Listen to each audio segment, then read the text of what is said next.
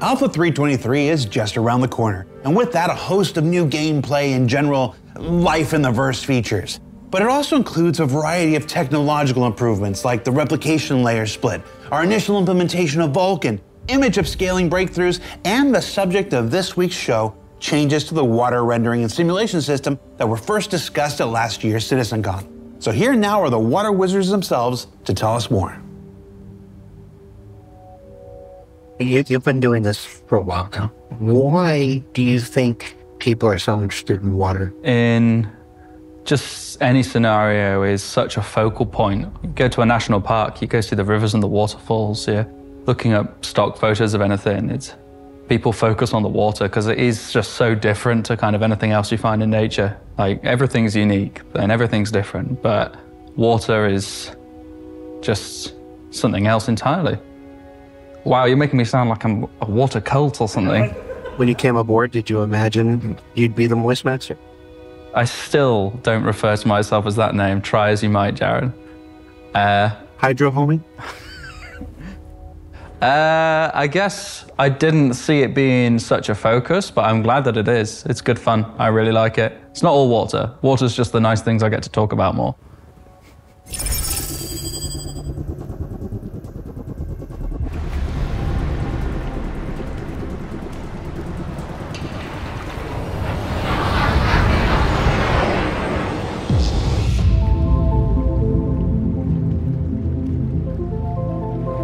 Someone asked me when I was at CitCon recently, what makes water 3D in games? What's different to anything else? And the truth is, you have to work to make it look like water because what we perceive as a volumetric liquid in real life, in graphics, we break down into different parts. You have the water surface, which is what you see reflecting, what you can look through, where you see your waves and your foam and so on.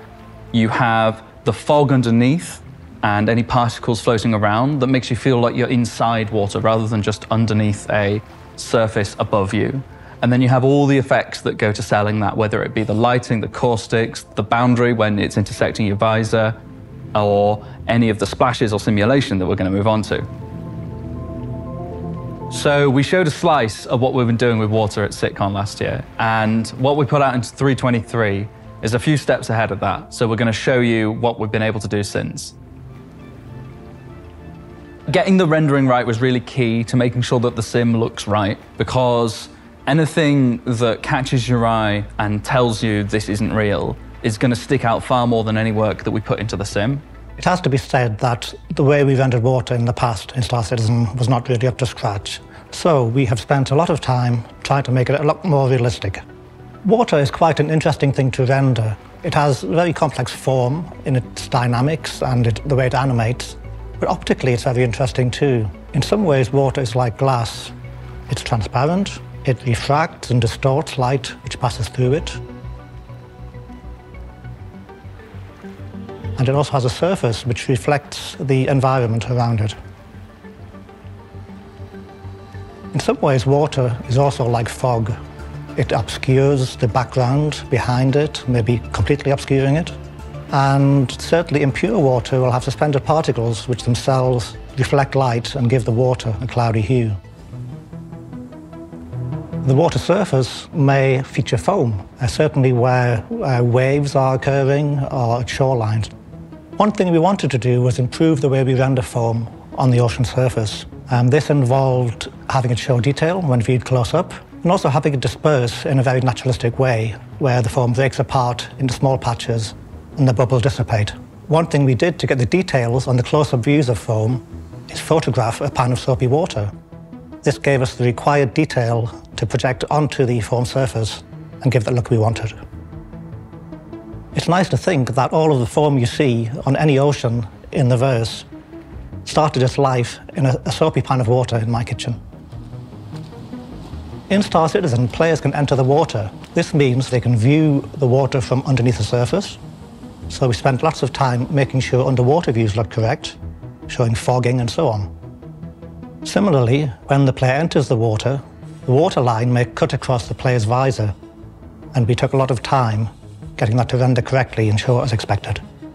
I really think the improvements that have gone into the rendering of the water, especially the surface, the fog, It's leaps and bounds ahead of what was in 322. So from rendering, let's move on to surface simulation.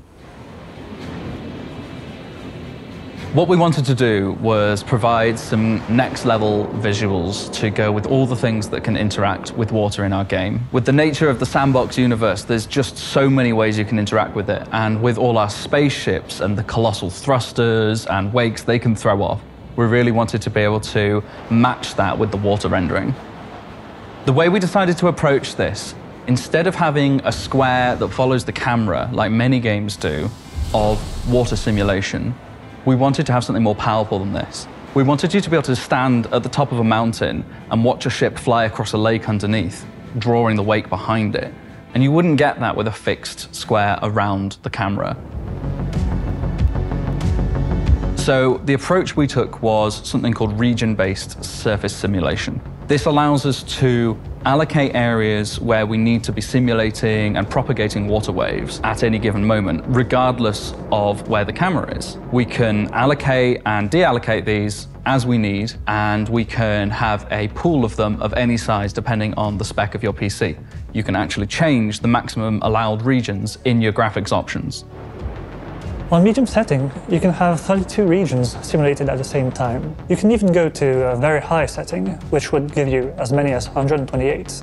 To choose the best regions, we try to have uh, the closest and most important ones show up and call the other ones. The fact that we sort it by the number of interaction and how strong they are means that only the most important ones will be shown on screen which helps because um, having a little uh, interaction right in front of you could be useful, but it might not be visible when there's a very big ship going right by and creating a huge wave.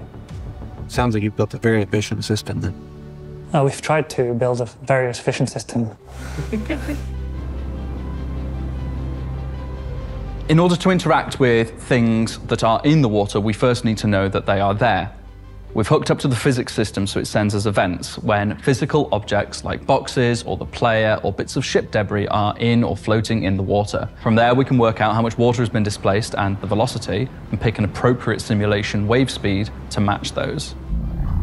From there, we can apply forces to different texels of each sim region, which then propagate as we update that region over time. As well as responding to physical objects in the water, we can also hook this up to other input types. For example, we could have a ship falling into water, creating a huge displacement. But we can also have footsteps near the beach. Or we could also have bullets and missiles and explosions. For the player, this means that you can be way more immersed in your uh, game, as you can see the direct effects of what you are doing, how you are playing on the water. We wanted to be able to create the best visual impact we could without having an impact on your bandwidth and server performance, etc., especially as we move into bigger and bigger player counts. So our water simulation is done on the client and is visual only, and I think that way we get the best possible result out of it. All of the information that we get from the different systems is then packaged and sent to the water buffer. Tying this all together is the water buffer, this allows us to take in inputs from multiple systems to the shape of the water surface and then use that information in lots of other systems, such as additional effects and, of course, rendering the water. Each patch of ocean is able to render with both the water buffer on and off. If it is off, it simply shows the ocean waves according to where it is on the planet. If it is on, it first populates the water buffer region with the wave data in that patch. We then add in any simulation data or data from other inputs. Then when we come to render the ocean patch, we look up again from this buffer where we have the total added together result of both the original ocean waves, the simulation, and any other inputs. To copy the simulation in, we build a mesh that covers parts of the water buffer that we're going to write into. The UV coordinates of each vertex in that mesh point to a specific part of the region atlas. This allows us to read specific parts of simulations and input them to other parts of the water buffer, and it allows us to do it in just one draw call. Having the water buffer set up like this to receive multiple inputs leaves the door open for implementing multiple types of simulation going forward. For example, beach crest waves could be input into this system. This means as well that any other system nearby can look up to see where the waves are and see how high the water is. We use this to drive a number of different effects. Having the water buffer allows us to have the graphic system query what nearby waves are doing. This allows us to render things called caustics. Caustics are where the ocean surface is focusing sunlight onto areas nearby. So for example, it may focus light from the sun onto the seabed, making certain bright patches animate around. And similarly, light can be reflected upwards onto the side of a vehicle, for example. Caustics are a very important visual clue for water rendering, and leaving them out would have, would have meant the water did not look correct. Well, that was a look into all the work that went into the water in 323. The whole thing is pretty sweet. I'm really happy with how it looks. The team has done a fantastic job. Planet Tech have got some really exciting things coming. I'm really, really excited to dive back into the planets of Star Citizen. I hope you guys enjoy it.